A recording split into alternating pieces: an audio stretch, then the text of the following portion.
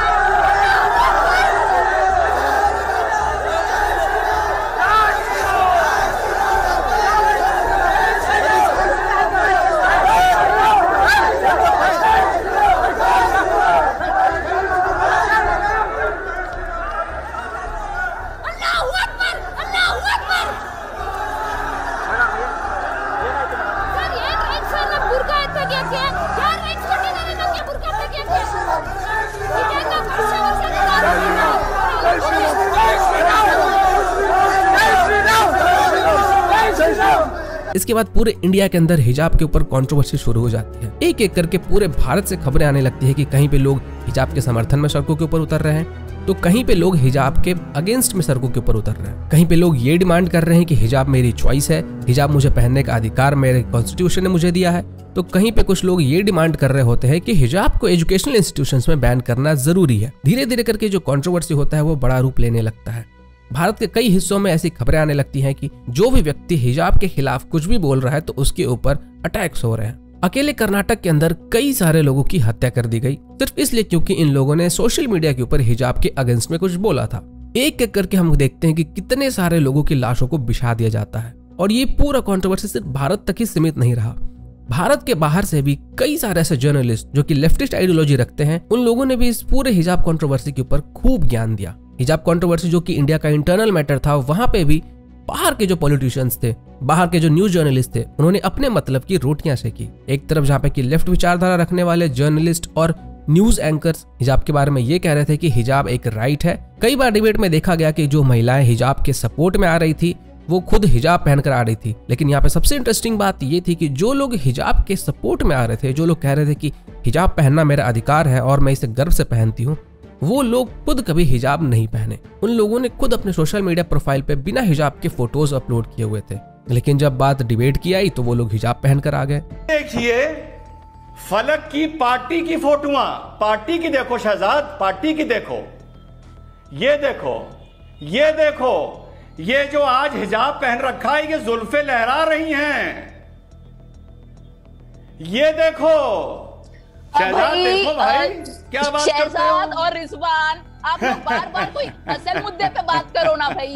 मैं मैं बहुत बार जो बोल चुकी हूँ नेशनल मीडिया पे मैं पहले हिजाब नहीं करती थी अब करती हूँ आप हंस लो रावण दिख रहे हो आप जोकर दिख रहे हो जोकर जोकर जिन लड़कियों ने भी हिजाब के समर्थन में प्रोटेस्ट किया सड़कों के ऊपर आए उन्हें बहुत सारे गिफ्ट मिले साथ ही साथ बहुत सारे पैसे भी मिले। मुस्कान नाम की ये लड़की जो कि पूरे कॉलेज कैंपस के अंदर हिजाब पहनकर घूम रही थी और चिल्ला चिल्ला कर चीख चीख कर ये कह रही थी, हिजाब मेरा अधिकार है।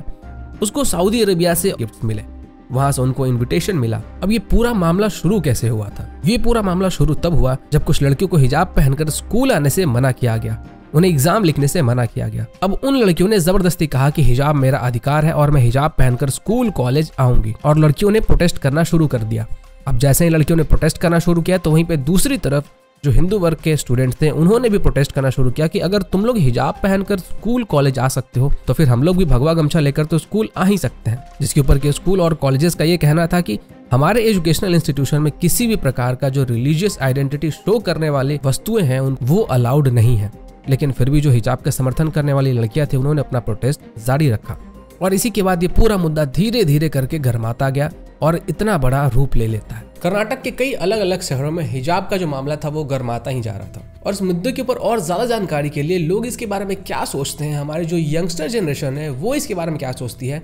इसके बारे में और ज़्यादा जानने के लिए ये ज़रूरी था कि मैं कर्नाटक जाऊँ और कर्नाटक के अलग अलग शहरों में घूम कर लोगों से बातचीत करूँ और उनका ओपिनियन जानूं। तो इसके लिए मैं कुछ दिनों पहले कर्नाटका के कैपिटल सिटी बेंगलुरु पहुँचा, जिसको कि सिलिकन वैली के नाम से भी जानते हैं। बेंगलुरु का जो कंट्रीब्यूशन है हमारे कंट्री के जीडीपी में, वो भी one of the top cities में आता है। बेंगलुरु में जो फ़र्स्ट चॉइस ऑफ़ ऑक्यूपेशन होता है, वो होता है सॉफ्टवेयर इंजीनियर का, क्योंकि यहाँ पे बहुत ज़्यादा अमाउंट में कंपनीज़ प्रेजेंट है, बहुत ज़्यादा स्टार्टअप्स मौजूद है। और इसी कारण से भारत के अलग अलग शहरों से स्टूडेंट्स आते हैं और यहाँ पे जॉब करते हैं। जब मैंने भारत के अलग अलग शहरों से आए हुए स्टूडेंट्स है, जो कि बेंगलुरु में जॉब कर रहे हैं या फिर पढ़ाई कर रहे हैं, उनसे हिजाब के ऊपर बात किया। तो उनका जो ओपिनियन था, वो बड़ा अलग सा था। मतलब मैंने एक्सपेक्ट नहीं किया था कि ऐसे आंसर्स भी मुझे मिल सकते हैं। जिन स्टूडेंट से मैंने बात किया, उनका मैंने वीडियो भी रिकॉर्ड किया, उनका इंटरव्यू भी लिया। ये वीडियो अपलोड ही होने वाला था कि उसी समय हमारे चैनल के ऊपर एक कम्युनिटी गाइडलाइन स्ट्राइक आ गई।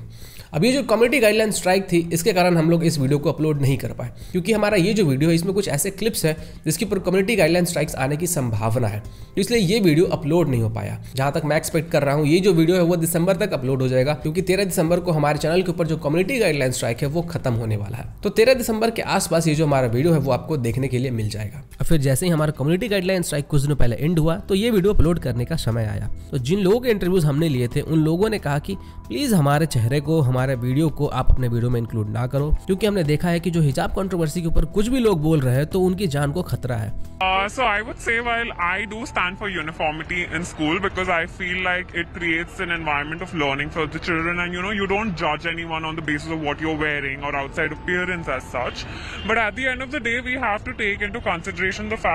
are for a common that is to be educated to learn something at the day so as long as we are following uniform or the code of conduct in school we can express ourselves in different ways be it in terms of religion or be it in terms of whatever you know we're wearing and all of that so while i'm all for uniformity i am not for the discrimination of people on the basis of caste creed or religion देखिए इस पे दो तीन इसके पहलू हैं आपको सारे समझने पड़ेंगे क्योंकि आप एक साइड से कोई भी जजमेंट नहीं दे सकते तो पहले आपको ये समझना पड़ेगा कि ये कि ये जो हिजाब प्रैक्टिस है क्या ये इस्लाम में एक एसेंशियल प्रैक्टिस है?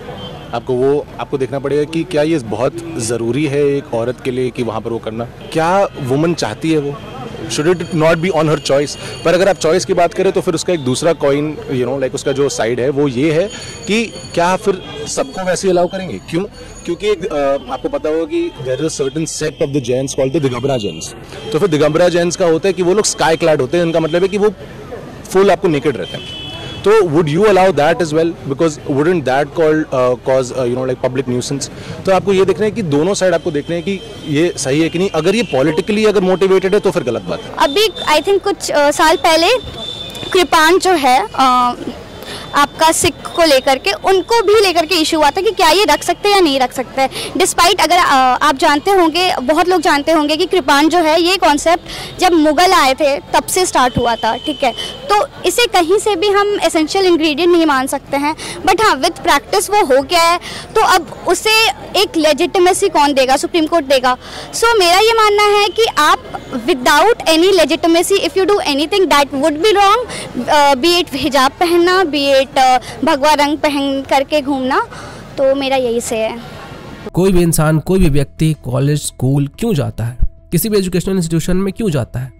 वो वहाँ पे जाता है एजुकेशन प्राप्त करने। वो वहाँ पे जाता है कुछ सीखने। और जब आप कहीं पे कुछ सीखने जा रहे हो तो आपको वहाँ का नियम कानून फॉलो करना होता है। ना कि आप वहाँ पे अपना नियम कानून चलाते हो।